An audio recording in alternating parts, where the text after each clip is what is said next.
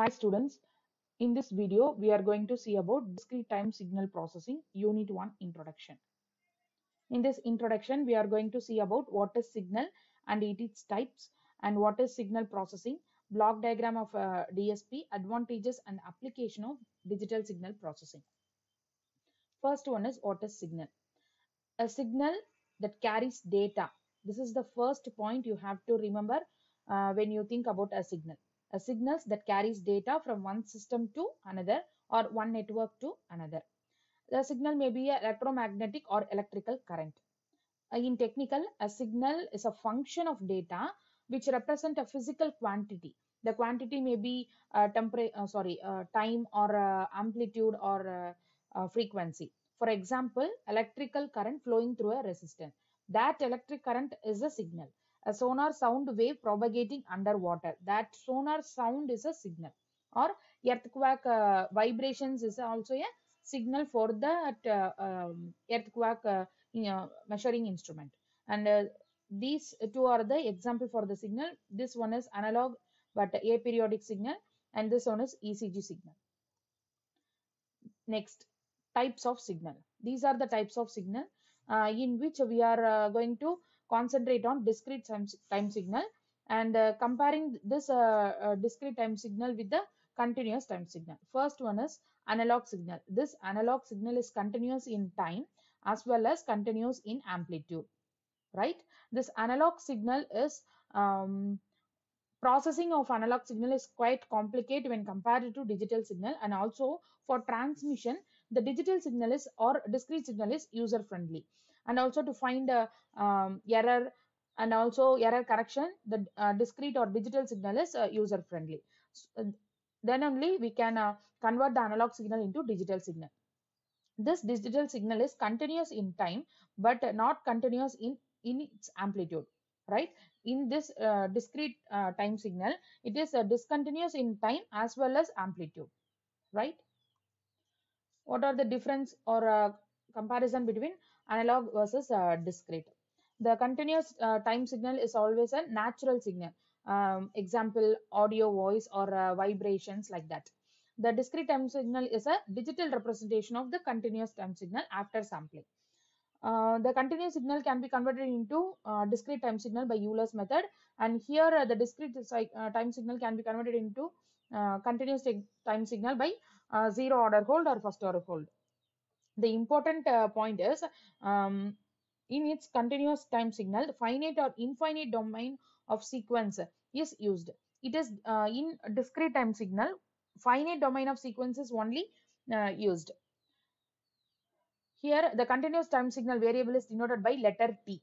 For example, x of t is a continuous uh, time signal representation.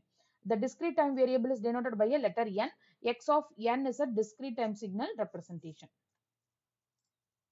What is signal processing? The signal processing is nothing but an analysis or interpretation and manipulation of any signal. If you are going to analysis the signal, which is nothing but a signal processing. Okay uh, what are the process uh, we are going to uh, do for a signal is storage and reconstruction or separation of information from noise and uh, compression. If we send a, a video or a audio file uh, you know through the uh, whatsapp means the whatsapp software first compress the file um, size. Then only it can transmit through the through its um, network. So the compression is itself also a signal processing. And the feature extraction converting a text to speech or a speech to text uh, example google uh, voice recognition and google lens. These are all uh, signal processing applications okay? A small um, example here a recording is uh, done and the recording analog signal is con uh, converted into digital signal for uh, digital signal processing. And then the DSP is given that digital signal to memory for storage. Here the storage is also a Uh, signal processing method. And from memory the DSP uh, retrieve the data and again it uh, um, convert the digital signal into analog signal for a speaker to playback what are the block diagram used for digital signal processing? Here analog signal is uh, um, used as an input and anti-aliasing filter which is nothing but low pass filter. It eliminates uh, unwanted uh, um, high frequencies and all. And this uh, uh, output of the low pass filter is given to the analog to digital converter because we have to processing the signal using uh, process the digital signal. Okay? How we are converting analog signal into digital signal is sampling sampling is the important concept of uh, digital signal processing right? Uh, after that uh, the signal is converted uh, digital signal is uh, given into digital processor and then the processing is done in this uh, uh, block. After that the digital signal is converted into analog signal for output okay? Here the digital to analog signal is um, done by reconstruction for sampling and the reconstruction nyquist theory is very very important. In upcoming uh, videos and lecture session we have a um, look into the nyquist theory or theorem. Process of conversion. First our audio signal is given uh, by the microphone and it is uh, uh, given as an input to the adc here the adc converts analog uh, signal into discrete or digital signal and the digital signal is given to uh, this is the digital signal example. And it is given to digital system. Again the digital signal uh, system process the uh, signal. And the output is given to uh, DAC which is nothing but digital to analog converter. Here the speaker receives the analog signal from the uh, DAC digital to analog conversion. What are the advantages of DSP uh, high accuracy high accuracy means uh, the analog filter uh, uh, doesn't have that much tolerance or superior control over accuracy so um, the analog filter are affected by some vibrations or environmental temperature like that. But dsp has superior control over accuracy. Uh, when compared to uh, analog uh, realization the digital implementation of circuits is um, is comparatively cheaper and flexibility in configuration. Uh, for reconfiguration in analog system we can only do it by redesigning of uh, such a system hardware. But uh, when it comes to dsp system it uh, easily reconfigure by uh, changing the program itself.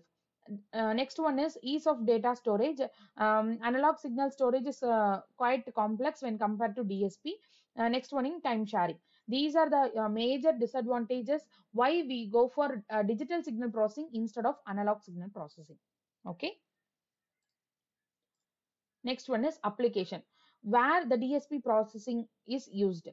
Uh, these are the main uh, domain uh, where the uh, digital signal processing is applied. Okay? Uh, first one is computer communication radar uh, mp3 and mp4 uh, these are the examples i have given for whatsapp um, file transfer okay? Earthquake the vibration uh, itself uh, captured by a uh, as a signal in this instrument. And biomedicine uh, biomedicine means uh, uh, hearing a womb's a child heartbeat okay? And artificial intelligence is nothing but recognizing our retina or our voice like that and the domain wise dsp application in image processing uh, pattern recognition uh, image enhancement animation these are the application uh, where the dsp processors are used.